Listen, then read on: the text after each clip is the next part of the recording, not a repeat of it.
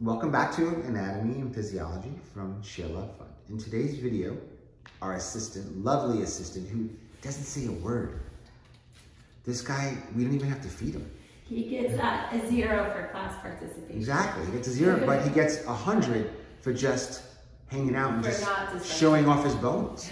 He gets 100 for that. So in today's pose, we'll be explaining the anatomy strengthening for Navasana, another core strengthening pose. What I mean, what another foundational pose. So from here, I will have Ashley bring her, bend her knees and bring her feet onto the mat. Good. And she'll sit up nice and tall, nice and tall. Lengthen through the crown, drawing the shoulders down away from the ears. Then I'll have her come up to the tippy toes on her feet, tippy toes. And then she'll use her right hand to lift her right knee up. Just lift the knee, yeah. And then her left hand to lift the left knee up. So we'll start here in balance. This is the beginning of Navasana, boat pose. And right here, this is great for some of us to start here. I'll ask Ashley to lift her chest, draw her elbows down. That engages our core. So right here, this is the perfect start for Navasana. Makes it accessible. And if a person has a difficult time balance, they could always lower one leg to the earth. Inhale. On the exhale, I'll ask Ashley to extend her right leg out, left leg out. Right leg and left leg together. Okay. And uh, I think this will also be a good thing to touch on with the anatomy with the um, tailbone, Peter, because one time you told me sometimes people have a different position of their tailbone, which makes this a little harder. I Mhm. think I'm gonna step off camera to get a blanket um, for, okay, or I'm getting that uh, luxury uh, VIP service here. Um, but so for me, I um, was a snowboarder and I'm a skier now. And um, I fractured my tailbone when snowboarding. Now, maybe it's a result of that old injury, or maybe it's just my anatomy. I will defer to Peter with 25 years experience as an anatomy expert to, um, you know, sort of add um, depth to this comment. But basically, when I do boat pose, um, it feels uncomfortable on my tailbone. So a cushion helps. I, nothing we should do. We, we're doing yoga to feel better. So if something feels like it hurts, we shouldn't do it. This is not, no one's gonna win a trophy. We're not going to the yoga Olympics.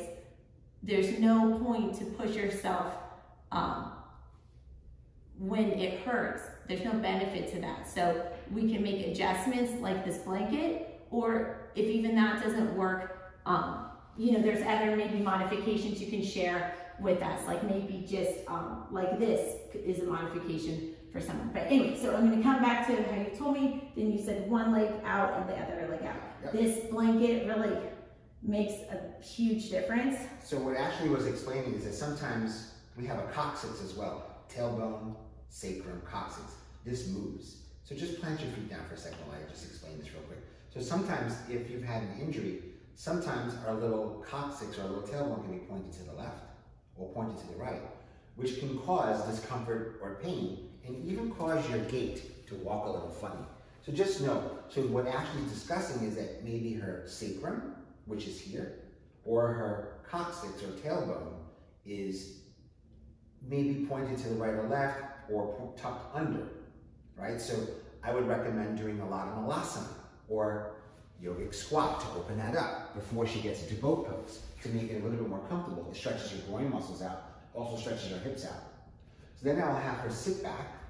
Can I just ask a question? Um, can it ever move? Like, like, do, like, like Yes. doing squats? Yes. That can. Yes. So our um bones, like we actually can As as over time make an adjustment on As our long as it's not fused.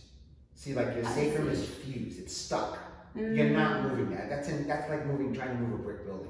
But your tailbone, as long as it's not fused, if you stretch the muscles enough, you can actually make some changes there. So, um, as we Asians sorry to rack your brain while we're live and um, uncut, but um, so you know the benefits of yoga can really be to help skeletal alignment.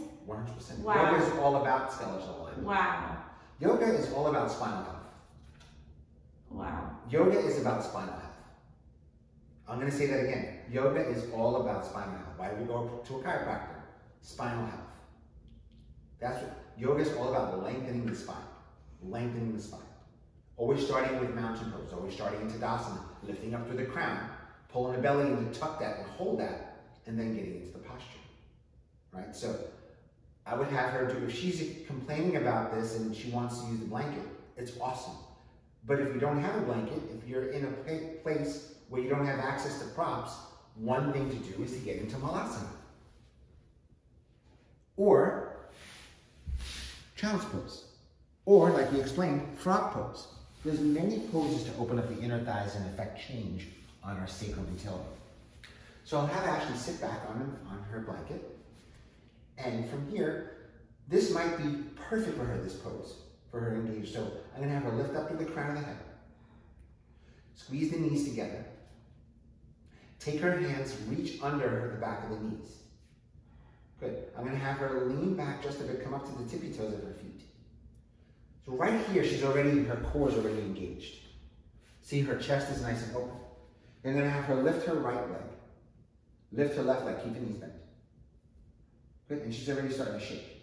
Drawing the shoulders away from the ears, drawing the chest, lifting the heart, extending the arms directly out in front, palms facing in towards one another, lifting the hands. Lifting up through the chest a bit more. Now, this is perfect for Ashley because of her sacrum, but I'm going to ask her to do something a little advanced by slowly extending both legs towards me. I'm gonna cheat a little and just Yeah. because it really get Really gets your core. Okay. Now lift your heart, just hold this for a second. Lift your heart, lift your arms. It's you also mind over matter because when you uh, Hold the legs, hold the legs. Sort of. Hold your legs and lift your heart. lose focus, you get wobbly. Hold your legs and lift your heart. Just Okay, hold. hold my legs. And just lift your heart. That's it. Okay. Now close your eyes. Lift your right arm.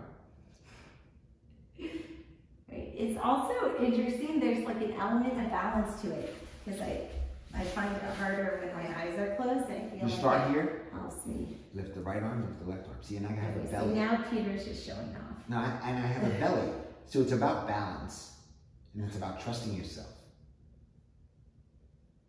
I just needed a little competition and then now That's I'm gonna show off more. Beautiful. So, benefits, stay right there. Benefits, strengthening. The benefits are you're strengthening your lower back, strengthening the core muscles. You're getting into the pelvic floor. You're strengthening your quads. You're strengthening your lower abdominals, strengthening the upper abdominals, strengthening the chest, toning the legs, toning the hamstrings. That's why I said it's one of those foundational poses for strength. So start where you are comfortable and work your way to the full expression of the posture. And your full expression will be different from Ashley's, different from mine. Namaste. Namaste.